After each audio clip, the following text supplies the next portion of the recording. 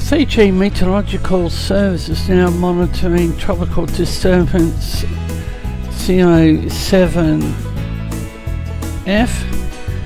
Central pressure is 999 millibars, located near 07 decimal 5 degrees south, 174 decimal 9 degrees east. Position remains poor and is based on the Himawari 8 visible and infrared imagery. Peripheral service reports and remains slow moving. Deep convection lies to the east of the supposed low level circulation centre report organisation and lies under an upper divergent area in a low to moderate shear environment with moderate outflow. Sea surface temperatures around 29 degrees Celsius. Global models have picked up the system and indicate a southeastward trend with gradual intensification. The potential for this system to develop into a cyclone in the next 24 to 48 hours is low to moderate. And that is the Invest 93P which has been on the radar for well, must be close to a couple of weeks now. And Invest 93P 11 decimal 4 degrees south 173 decimal 6 degrees east maximum uh, winds 25 knots, minimum central pressure is 1000 millibars. Now here's tracks on the Invest. The Samoan Meteorological Service has in place a heavy rain warning for all provinces. Trough pressure over the southern parts of the Solomon Islands.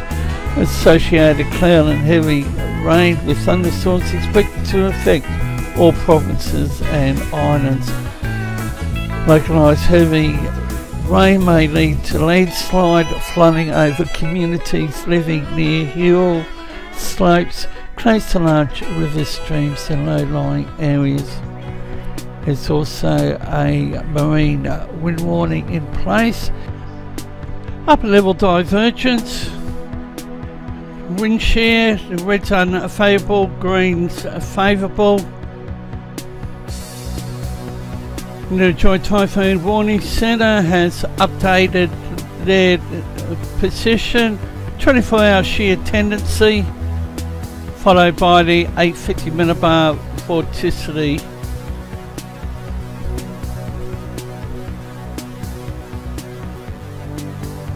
Area convection Invest 93P has persisted near 11 decimal 4 degrees south, 173 decimal 6 degrees east.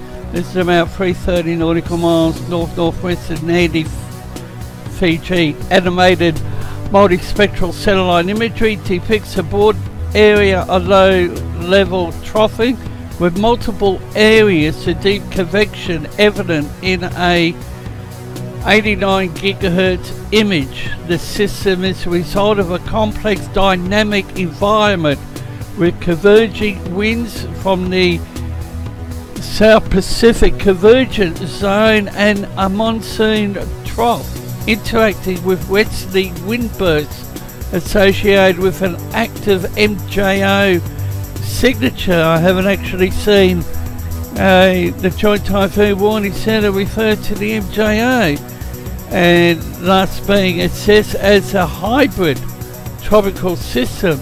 Invest 93P is traversing a favourable environment for further intensification with poleward outflow, low 15 knots uh, vertical wind shear, warm 30 31 Celsius sea surface temperatures.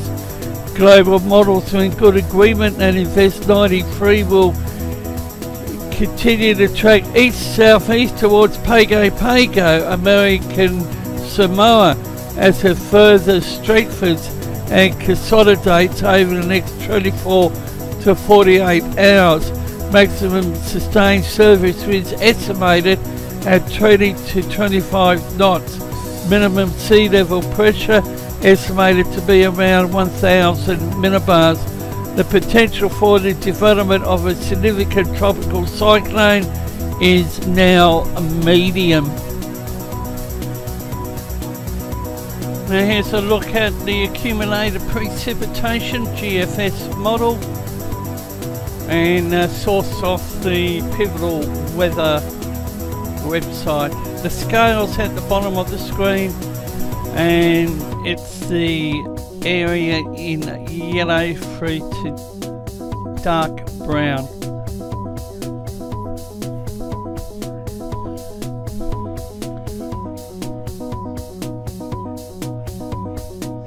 Bureau Meteorology Victoria has issued another severe thunderstorm warning. Here's the instability from uh, 10 a.m. through to 2200 hours tomorrow.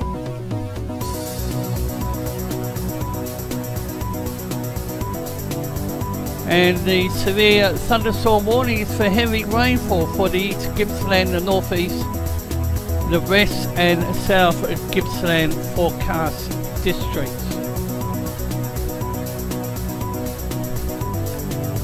And what's going on in the capital cities?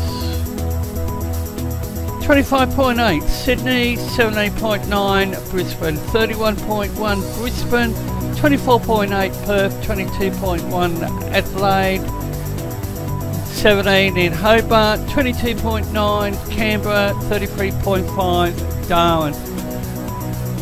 These storm probabilities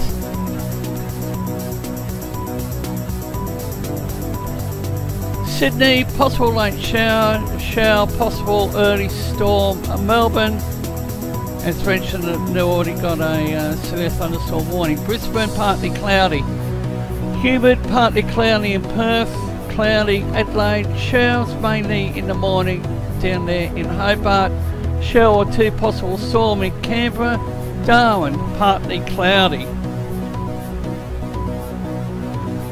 And the weather radar is currently showing up storm activity uh, here in the southeast corner of Queensland. Here's the, the precipitation and pressure Information, bottom of the screen.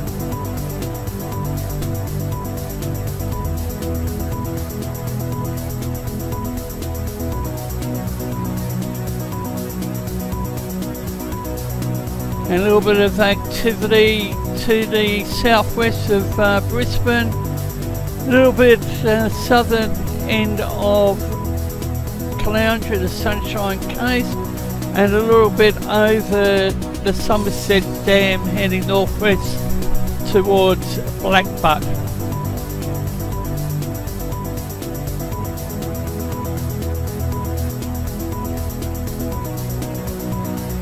And there's a little bit of activity Port Macquarie and the Bureau's 12 hourly rainfall.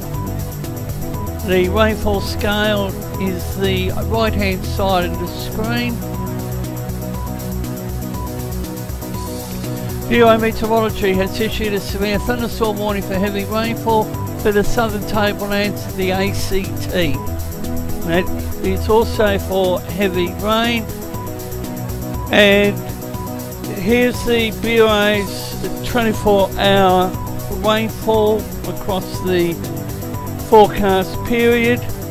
And we now have a developing tropical scene and there'll most likely be another update later on this afternoon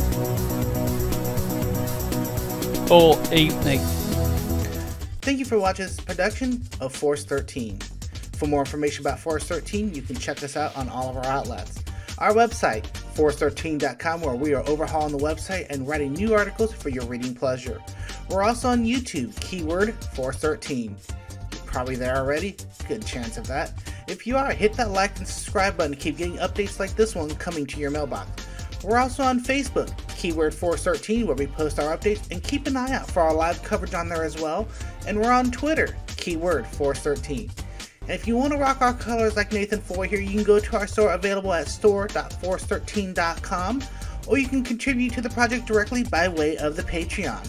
More information about patronage and the privilege you can get from patronage can be found at patreon.com forward slash force13, and you can reach out to us on Skype at force13, or to me directly on Discord at tren extension 1375, or you can join our server with our new link at discord.gg forward slash force13.